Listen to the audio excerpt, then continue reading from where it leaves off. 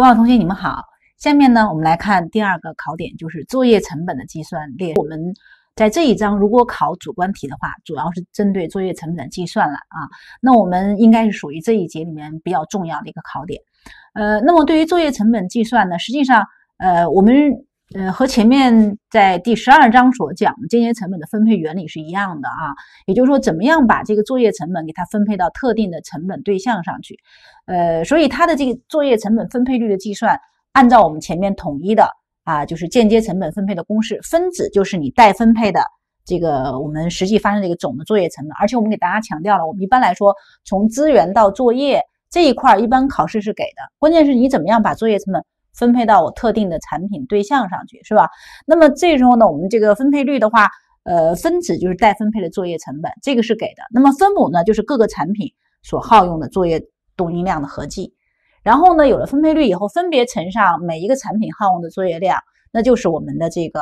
呃该产品要分配的作业成本。那么它的总成本呢？因为我们说直接成本是直接计入，作业成本是分配计入的，所以我们就是把它的直接成本再加上你分配的各项作业成本加总起来，就是我们的总的产品成本。所以它其实计算原理啊，呃很简单的，关键就是你要考虑对于。不同的作业成本要考虑用不同的作业量去分配哈。我们先来看书上的例子。我们这道例题呢，就是说，他说 DBS 公司呢主要业务是生产服装，该公司的这个服装生产车间呢生产三种款式的夹克衫和两种款式的休闲西服。然后呢，这个夹克衫和西服呢又分别是由两个独立的生产线去进行加工的，每个生产线有自己的技术部门。然后这个五款这个。服装呢都按批组织生产，每一批是一百件啊，它等于说是虽然是你要是按照产品来说是两种，但它按照批就是它的型号啊，那就或者说我们按照品种来说，总共是五种了啊，包括三种夹克衫，还有两种西服。好啊，那我们来看它给我们的这个成本资料，它首先是给了我们本月每种款式的产量，还有直接成本啊，直接成本是直接计入，它是直接给我们的。那大家可以看一下。呃，本月的这个批次的这个情况呢，夹克的批次是比较多的啊。你看，呃，如果三个夹克加总起来是二十四个批次，而西服总共刚六个批次，是吧？总的是三十个批次，然后每一批的产量都是一百，然后它们相应的产量那就很简单了，是吧？等于说用第一行，呃，乘以第二行，就是我们第三行的总的产量。然后它是给了直接的这个每批的啊，每批的直接人工成本给我们了。由于每批的成本给我们，然后又给了你批次，所以我们第五行的。直接人工总成本就是拿第一行的批次乘上我们第四行的每批的成本，所以这个比较简单，它等于是直接给我们了，对吗？然后呢，又给了每批的直接材料成本，这个也是给我们的啊，就直接成本是直接计入，所以它就直接给我们了。那因此我们这个直接材料的这个总成本一样道理啊，因为不是第一行就是批次嘛，所以我们拿啊第一行的批次乘上我们第六行的每批的材料的直接成本。这样就得到你的直接材料总成本，这是直接成本，它已经给我们了啊。考试的时候一般来说，直接成本是会给你的哈。那现在我们都来看一下，就是间接费用，它给了一个制造费用的发生额。你像我们制造费用合计总共是二幺四八零零，是吧？就是二十一万四千八百。然后呢，当然这里面其实包括呃有关这个批次级的这个。呃，生产准备检验供应成本有八万四千，还有夹克线的成本、西服产品线的成本以及其他成本，总的是呃二十一万四千八百。那我们来看一下啊，如果他考试他要求你用传统的成本计算方法，制造费用按直接人工成本，你看它的分配标准是什么？以直接人工成本为分配标准来进行分配。那要是这样一来，那我们想，那我的制造费用的分配率哈？分配率的话，分子就是待分配的间接成本，那我们待分配间接成本就是二幺四八零零。然后呢，你告诉我是按照什么呀？按照直接人工成本为分配标准。那我们的分母呢是呃直接人工成本。那你看我们刚才已经算出来了，直接人工成本，比如说你看呃这五种产品的合计是幺零七四零零，对吗？就是各个分配对象的分配标准合计。那总共是一零七四零零，所以这样的话就把二幺四八零除以一零七四零零，这样就可以把分配率得到。然后你把这个分配率分别去乘上各个品种的它的直接人工成本，不就可以吗？所以大家可以看啊，呃，我们通过计算，就二幺四八零零除以一零七四零零是二，就是百分之二百。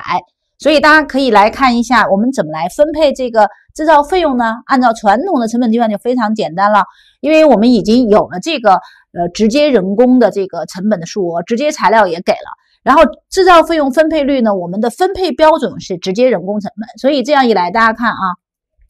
我们的这个应该分配给各个产品的制造费用就是第四行这个数据哈，我们这个第四行呢，实际上就是拿我们第一行的直接人工去乘上我的分配率，第三行是吧？你用第一行乘以第三行。就可以得到我们每一个品种的产品应该分配的制造费用，然后我们把直接材料、直接人工还有制造费用，也就是这个总成本是用第一行加第二行再加上我们的第四行哈，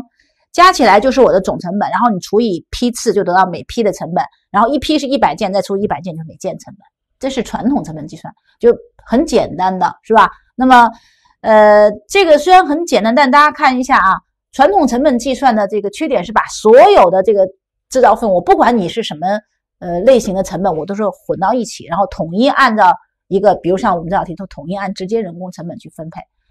呃，那我们现在来看一下啊，如果我们想更加准确的分配间接成本，我们在前面也谈了，应该是用作业成本法。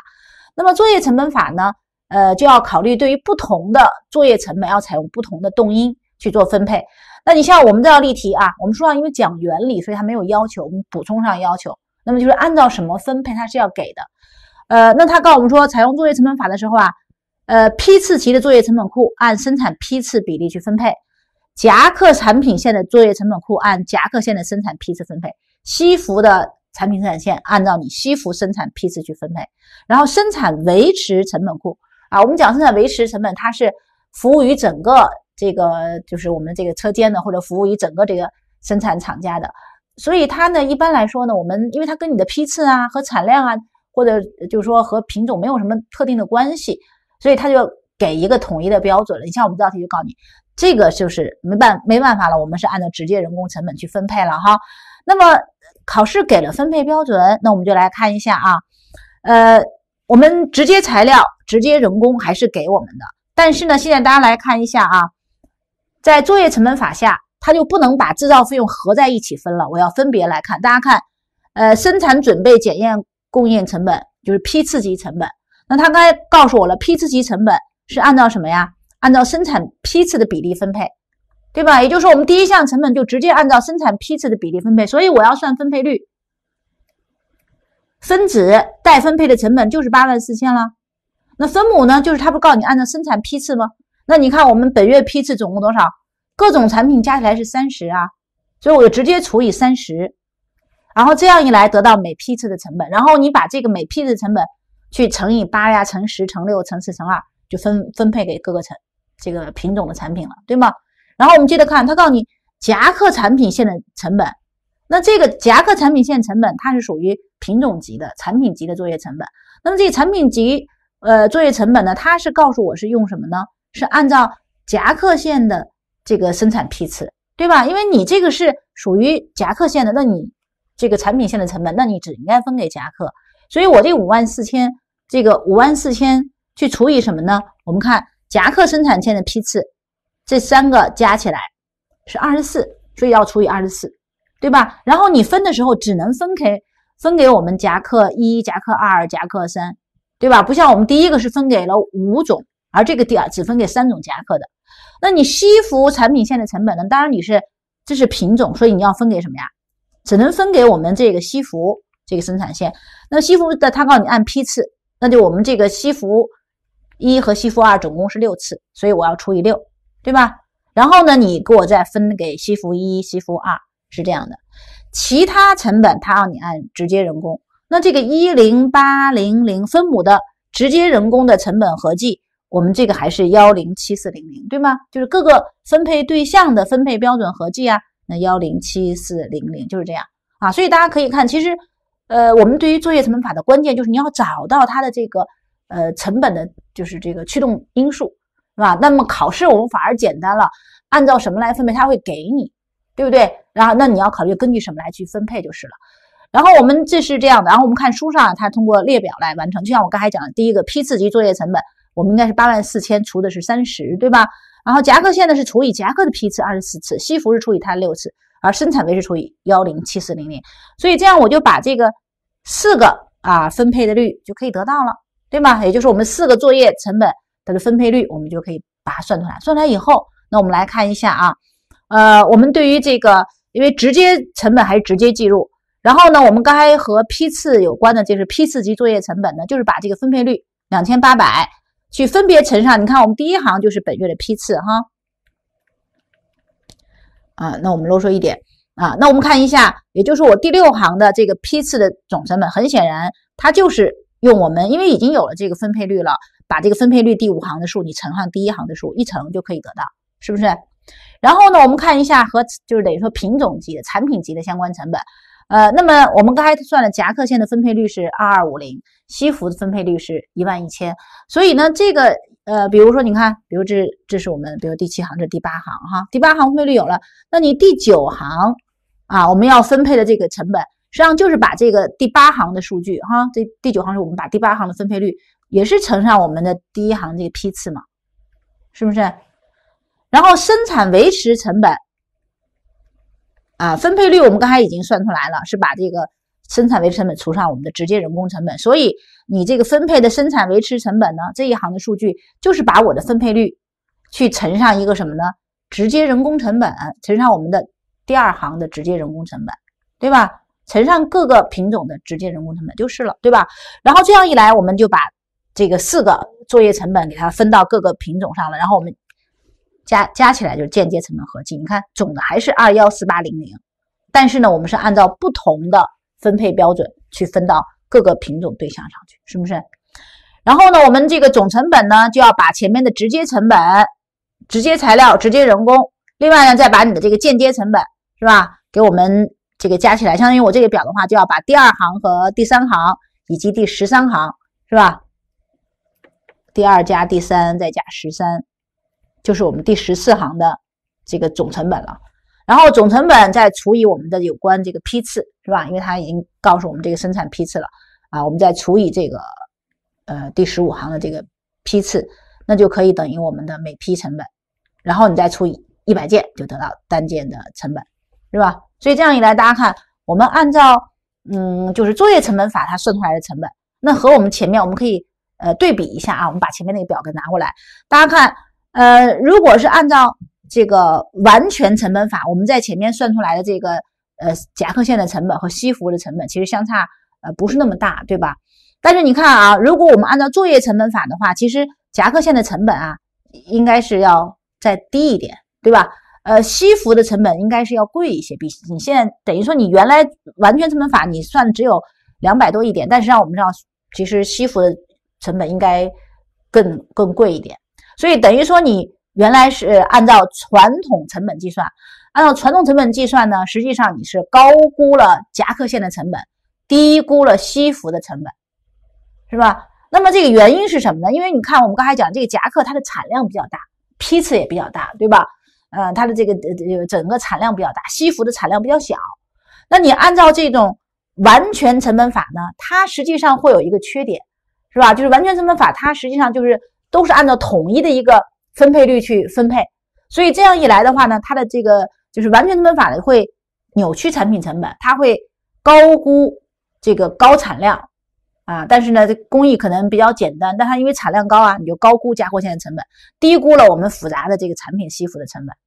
是吧？那么这是我们完全成本法和作业成本法的一个区别。但是他们俩也有共同点，就是不论是完全成本法还是作业成本法，我们其实，呃，和前面我们在我们是预先讲第十五章，呃，就是这个本量力分析里面我们谈的变动成本法是吧？呃，那变动成本法呢，它的产品成本只包含变动制造成本，但是作业成本法我们的成本呢，实际上是呃都是不区分完全和变动，这点是呃相同的，是吧？这点是相同点，而不是一个区别点了哈。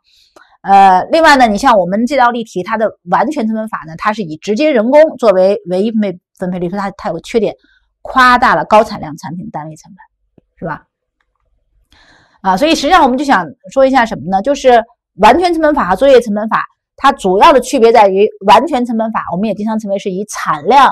呃为基础的成本计算制度，就是它的分配主要是基于产量。你产量多的多分配，产量少的少分配。但是作业成本法是以作业为基础的成本计算制度。那么这种作业成本法呢，它是因为是利用多个不同的成本动因去分配这个相应的这个呃间接成本，所以它的间接成本分配要准确，是吧？就是克服了这个传统的完成本法夸大高产量产品成本这种缺点，但它俩也有共同点，都是直接成本直接计入，然后呢，成本都是既要考虑变动成本，也要考虑固定成本，都要计入到这个产品成本的啊，就是实际上就没有区分变动固定。我们可以先来看一道多选题啊，他就问你与作业基础成本计算制度相比，产量基础产量基础上去我们谈传统成本计算制度存在的局限性有：A 把不同性质的各种间接费用按部门归集在一起，对吧？它是按部门归集，然后呢，这个整个的一个制造费用去按统一的分配率分，所以这是它的一个缺点。成本计算过于复杂，其实你看我们刚才讲了完全成本法比较简单，对吧？就单一的分配率嘛，所以它简单，这个说反了。容易夸大高产量产品成本，这是对的。然后成本分配基础和间接成本结合之间缺乏因果关系，因为它是统一在一起去分，它不像作业成本法特别强调因果关系，对吗？所以这样的话只有 B 是错的。那么下面我们再来看一道计算题啊，我们来看对于这个作业成本分配这块需要大家注意的。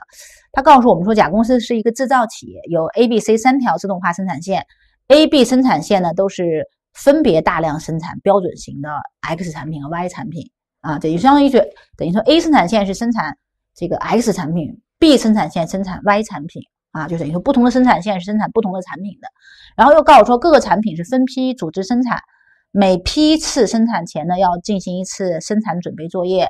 啊，调整生产线以及程控系统，是吧？就是要我们做要生产准备啊，做一下这个设备的调控啊，就这个意思。然后呢，对于标准型的 X 产品呢，一批每批要生产六千件啊，所以它的一个。等于说是一次的生产量，一批就要可以生产六千件，而标准型的 Y 产品呢，一批次是生产两千四百件。然后客户订购产品的时候呢，公司会安排仓库按订单的数量包装发货。呃，最近市场上呢出现了一些个性化的定制需求，公司呢就是利用 C 生产线生产非标准型的 XY 这个产品，然后非标型的产品呢是按照客户订单来安排生产的。所以它这个就是我们那个标准型，你看它是按批次，对吧？就是说这一批一次就生产六千件，因为它是标准的。但它这个非标准，它是根据客户的订单，那就是一个订单我就要组织一次生产，就是这个意思，是吧？按订单来生产。然后呢，X 和 Y 产品需要分订单来订购，每个订单每个订单开工前都要做一次生产准备，就等于说是什么意思呢？它这个标准型的产品呢，它是每批。是不是就等于说标准型产品是每批次生产前做一次生产准备，但是非标准生这个产品呢是每个订单开工前做一次生产准备，所以你要注意它的这个生产准备是呃不太一样的啊，就是我们前面那个标准型是按照批次，这这一批一下就组织六千件，对吧？我不是按客户，可能十个客户加起来是够六千件的，对吧？它因为是标准的，它这是按订单。啊，就等于说给了我们这个描述啊。那我们接着看，它公司原来采用传统的成本核算系统计算产品成本，直接材料、直接人工是直接计入成本计算对象，间接费用按工时在成本计算对象之间去分配。现在为了适应个性化的定制市场需求呢，要采用作业成本法计算，嗯，客户订单成本，是吧？并且按客户订单成本来加成定价，那就说明你必须要把每个订单的成本要给它。呃，计算准确了哈。然后公司呢对业务流程进行了分析，确定了四项作业以及作业动因，并且制定了标准成本，就给了我们有关资料。大家看这个 X 产品呢，呃，它的用量标准单件二十千克，价格标准每千克七百五十元，所以单件的这个材料成本啊，标准的成本，我们说标准成本制定的时候都是按照等于说单单位产品来制定的，所以它这个相当于就是每一件。材料一万五千，外产品每件是两万两千。然后我们接着看啊，呃，这是谈的有关直接材料，它实际上是直接计入的，而且都告诉你了哈。然后我们再接着看这这个有关作业的标准成本呢，材料接收与处理作业作业，它是按照材料的重量啊，每千克一百二十元。那么这么一来，大家看，你看我们 X 产品什么呀？一件是二十千克的啊，所以呢，就相当于我们的 X 产品一件你就要。呃，等于说是要要多少钱呀？一百二十乘以二十千克，两千四百元，对吧？呃，那你这个呃 Y 产品更重，四十千克，那你四十千克乘上每千克一百二十元呢，那就四千八百元了，对吧？所以它是按它的这个重量来处理，对不对？嗯，那我们接着看啊，生产准备作业呢是按照成成本准备次数，每次是六万元。产品的加工作业它是按照加工的件数，但是标准型的一件是四千，非标准型一件五千，这是跟产量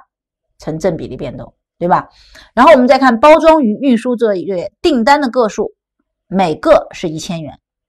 对吧？你一个订单那就是一千，是这样的啊。那么他也给我们加了一些这些注释啊，就是说我们告诉你，这个标准型产品和非标准产品，它只是呃，就是除了产品加工作业的单位作业标准成本不同以外，其他都是相同的啊。就等于说我们实际上这里面提示了你，标准型单件加工四千，非标是单件五千，但是其他都是一样的，是吧？比如说材料接收处理都是按照它的重量，每千克一百二十元啊，包装运输都是一个订单一千。是吧？生产准备都是一次六万，是吧？这个是共同的。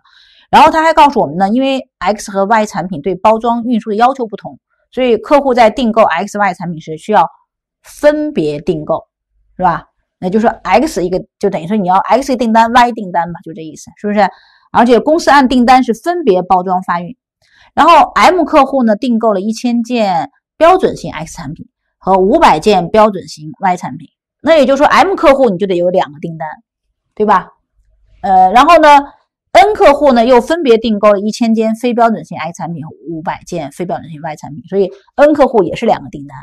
但是 M 都是标准型的，N 都是非标准型的，是吧？然后呢，他还告我们说，因为 N 客户因为他是个性化定制，他要求在每个产品上打上公司的这个就是啊它的这个名称的标识，是吧？logo 的标识，然后预计呢这样每件会增加成本十块钱。那现在我们来看啊，第一个。他让我们按照作业成本动因来分类，甲公司的四项作业分别属于哪一层级的作业成本库？说明原因啊。那我们在前面已经介绍了，我们的这这个作业成本库可以分为单位级的，还有这个批次级级的，另外品种级的，还有就是我们的这个维生产维持级的。呃，那么它这里面四个，我们可以理解一下啊。我们自己来先看材材料的接收与处理作业，它是按照什么呀？每千克就收一百二十元。对吧？根据你的材料的这个重量，而且材料重量，你看你的产品的数量越多，产量越多，你是不是？比如说我们要是这个呃 X 产品啊，它一件二十千克，那你要是一千件呢？二十乘以一千，那很显然它这个这个材料的这个接收与处理作业是与产品的产量是有关系的。可以说每一个产品你都有重量嘛，每一个产品你就要相当于是你要。给它去都要有一个这样的材料的接收处理的，是不是？所以它和产品的产量是直接相关的，而且是每件每件产品都要有一个接收处理，是不是？所以这样一来，它应该是什么呀？单位级的。那生产准备一看次数，那就是批次级的呗。然后产品加工作业是和你加工的件数，你看每一件你就要四万，你是不是件产量越多，要加工的成本就越多？这也是单位级的。然后包装与运输按订单个数，那你一个订单就一个成本，那这也是批次级的，是吧？所以其实它这个比较简单啊，等于说，呃，材料接收和产品加工都是单位级，但是生产准备和包装运输都是我们的所谓批次级，是吧？那么现在我们再来看啊，这个呃，就是说明原因。那那我们刚才谈了，就是嗯，单位级的是属于它的一个成本和这个嗯我们产品的产量。是直接相关的，每加工一一个产品，嗯，它每生就是每生产一个产品就要有这样的成本，对吧？而批次是因为它和批次成正比例变动，是吧？是和批次有关的，所以这个比较简单。我们再来看第二问，让你分别计算 M 客户就是标准型的 XY 产品订单的标准成本总额，还有 N 客户。我们先看 M 客户，M 客户啊，因为它是标准型的，所以我们就来考虑啊这个订单的有关成本。我们一块来分析一下啊，呃，首先呢，我们说这个直接成本是直接计入，那么我们对于这个呃，就是 M 客户呢是一千件 X 五百件 Y，那我们就来分析一下啊，比如说我们就呃一块来分析，我看啊，一千件呃 X 产品，还有呃五百件 Y 产品，对吧？五百件嗯 Y 产品。它让你算这个订单的成本，那现在我们就来看啊，直接成本先来考虑啊。那么直接成本我们可以来看一下，它告诉我们说，公司对业务流程进行了分析，确定了呃四项作业及动因，并制定了标准成本。有关材料，第一个就直接给了我直接材料，那这个直接材料你是可以直接记录的，就没有必要再分配了，对吧？而且你看我们这个呃单件的标准成本，我们刚才已经分析，用量标准乘以价格标准就是我的单件标准成本，那就是 X 产品一件一万五千，Y 是两万两千。那我们对于直接材料这一块啊，就相当于是直接材料这一块，那我就是把这个一千件乘上单件的这个成本是一万五千，对吧？那它这个是五百件，乘上单件的成本呢是两万两千，所以直接成本我们是要直接计入的，但间接成本啊得按它的分配动因来进行考虑这个分配哈。你看它这里面告诉你是每千克分一百二十元，所以我们就来看对于材料处理成本，我应该分给 X 产品多少呢？每千克一百二十。既然每千克一百二十，我们就要看一下我们这个。产品有，你看单件多少千克？X 产品单件是二十，所以我要乘上，哎，它这个二十千克每件，对不对？然后我们总共多少？一千件是吧？乘上一千件嘛，这个分配率是一百二十元每千克，那你就一百二十乘上每每件是二十千克，所以我再考虑一千件，就是总的你的这个千克是多少？那么 Y 产品也一样啊，因为它是每千克一百二十元。是吧？每千克应该分一百二十元。那我就看你生产这个五百件 Y 产品多少千克呢？一件是四十千克，一件是四十千克，我总共是五百件，我乘个五百，是不是？所以这个就是你的总的千克数嘛。所以这样一来呢，你看我的这个材料接收处理成本这一项我就有了，对吧？然后我们接着看生产准备作业成本呢，每次六万，每次六万元。那我们对于这个。标准型产品，它是怎么样组织的？它是不是一个订单就生产准备一次呢？不是，它是什么呀？它是每批次生产前呢要做一次生产准备作业，但是它的这个标准型的 X 产品每批次要生产六千件的，就等于说六千件，这个六千件总共的生产准备成本是多少钱？总共是六万元。对吧？就六千件，我们生产一次嘛，那六千件才六万元，因为你是，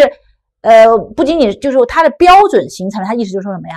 就是标准的，所以大家所有的人可能都都要有这个生产准准备。我没有必要一个一个订单我们准备一次，因为我要大量大批，所以我一个批次就生产呢六千件。但你这个呃 M 客户呢，他只是只占一千件，那怎么着呢？因为一次是六万元，对吧？但这六万元呢？它是生产多少件的呢？生产六千件的，对吧？就六千件，这这么多件数才总共是六万元。你这个呢是一千，是吧？一千件，就相当于你这个这个批次级的成本，就像我们前面书上谈的这个批次级的成本，实际上你要给它。等于说要分配到这个，因为你这一批次总共是一千件，那你是首先把这批次成本分到每个批次上，然后每个批次上你再分到产品上，对不对？就相当于我要把这个批次的成本，他已经告诉你一次是六万，但六万的话呢，我们这里面有六千件产品，那相当于每一件，那它实际上只是十块钱，对吧？就分配到每一件上就十块钱，那总共是一千件，然后这样一来，我得到这个 X 产品的生产准备的成本。啊，那么对于 Y 产品呢？你看它是告诉我什么呢？标准型 Y 产品一批次是可以生产两千四百件，就是你组织一次 Y 产品，我就要生产出两千四百件，是吧？那么这两千四百件，呃，总共一次的成本是六万，对吧？那你就要考虑，因为一次的生产准备是六万，但是我的六万呢，实际上是在两千四百件里面去平分，而我们这个外产品呢是五百件。所以我先求出每一件的，就在这个把这个批次的成本里面给它分到每一件上，对吧？然后呢，再看我这五百件应该分多少，是不是乘上这个五百件？这样一来呢，我这个呃生产准备作业什么我也有了。然后你看它产品加工是按呃我们是标准型的哈，我们现在先看嗯 M 订单啊，跟 M 客户的订单。那么标准型的，那我这个这个成本那就是每件四千。就是四千乘上一千件呗，对吧？然后我们这个是四千乘上五百件呗，是不是这个加工成本也有了呀？所以你就按它这个就就就对着它那个就写呗，是不是？然后我们再接着看啊，呃，产品的包装与运输。啊，那么对于包装与运输作业成本呢，那你可以看它告诉我们说，X 产品和 Y 产品对包装运输要求不同的，所以客户在订购 X、Y 的时候要分别订购，公司要按订单分别包装发运，所以这个包装运输呢，一个客户。但是它是 X 产品不同的 Y 产品，那么一个产品就要有一个订单，所以这样一来的话，那这个要有一个订单一千，这样也有一个订单一千，所以这样一来，大家看我们的总成本，你这一加不就完了？把直接成本和你刚才算出来的四个作业成本给我一加总就完了，是不是就很简单啊？是不是？这是我们谈的有关 M 客户。那我们现在来看这个 N 客户的啊。这个 N 客户呢，他是订购了也是一千件，但它是非标准型的，五百件非标准型的 Y 产品，而且还要要求每个产品要打印这个公司的标识，是吧？所以，那我们现在来看啊，呃，对于这个 N 客户，我们怎么来算啊？那我们看一下啊，对于 N 客户的话，它同样也是一千件 X，还有五百件 Y 啊。我们还是要考虑，比如说，先是考虑直接材料，这个应该和刚才的完全一样，对吧？就是单件的材料 X 是一万五千，然后 Y 是两万两千，他说这个都是一样的，一万五千乘上一千件啊，那这个是两万两千乘上五百件，是不是这样啊？直接材料就很简单，然后我们就来看这这个作业成本，材料接收与处理，它因为是按照每千克一百二十，所以对于这项成本。啊，我们一样道理哈，因为它是每千克一百二十，然后我们就来看一下总共多少千克呢？因为单件二十千克，单件二十千克，然后一千件，所以总共就是两万千克，对吧？这是 X 产品，而 Y 产品呢，还是按分配率是一百二十，但是我在乘的时候呢，我要乘的是 Y 产品的重量，那 Y 的重量呢，一件四十千克，你这个五百件，所以四十乘上五百件。就是总的千克，对吧？所以这样一来，你看这个成本我也分配完了。然后我们再来看生产准备这个成本，这个地方要稍微注意一下，因为人家题目中是告诉我们说什么呀？对于非标型的产品是按客户订单来安排生产的，X、Y 产品需要分订单订购，而且每个订单开工前都要做一次生产准备作业，就是每个订单都要做一次准备，这是和标准不一样。标准型它是六千件。我们一个批次，对吧？它并不是说，呃，一个订单我就生，呃，生产准备一次，啊，因为它是标准的。但那这个非标准呢，它是每个订单要，呃，做一次生产准备。那因此呢，那大家看，由于我们这个 X 和 Y 要分两个订单，你每个订单都要生产准备一次，那我就不用分了，每次就这个订单要要要六万，这个订单也是六万，是不是这样啊？所以这个生产准备作业成本我也有了。那产品加工，因为我是非标准型的，所以就应该是拿这个五千乘上一千件，对吧？然后呢，这个呢是呃五千乘上五百件，所以这个成本数也可以分完了，对吧？然后包装运输这个一样啊，一个订单一千，所以这个有一个一千，这个有一个一千。然后别忘了，它要比我们的这个标准型的，我们多了一个要打这个商标的。是吧？我们要这个打印公司标识这个成本要多了一个这个成本啊，那么每件十元啊，那所以这样一来的话，那我们这个除了这个成本以外，我们还多了一个什么呀？就是我们的这个打标识是吧？我们打这个嗯 logo 这个标识这个成本，那打 logo 标识成本呢？那我们一件十块钱，十乘以一千件啊，那这个呢是呃十。乘以五百件，是吧？大概是不是很简单啊？其实所谓的这个作业成本，你看它就是说，呃，我们对于不同的成本采用不同的分配率嘛。你像这道题都给了你分配率了，只不过就是你要特别要，就是稍微要细心一点。就像他跟跟我们讲的，就是它是结合实际嘛。你这个标准型的是一批次就六千件，但是你这个 X 产品这刚一千件。对吧？那你实际上就是说，你你得先把这个批次级的成本分到产品上，然后再就是这一批次我们总共六六千件，那你先看每件多少，然后你再看呃各个客户定的这个情况，是不是？所以这个实际上就是我们谈的有关啊作业成本法啊，按作业来分配这件成本，是吧？啊，这是我们谈的有关这个。第三问，那我们看第四问啊，让我们结合公司情况说明作业成本法能够提高成本计算准确性的原因啊。实际上就是，呃，其实就你可以用自己的话啊，比如说就是这个传统成本计算是按照单一的这个分配标准啊，比如说基于产量东因的，按照工工时啊、产量啊去分配，它的间接成本分配不准确。但是我们作业成本法呢，是按照不同的成本东因去分配不同的这个作业成本，它分配会准确一点，是吧？而且传统成本计算会夸大高产量的这个产品成本，是吧？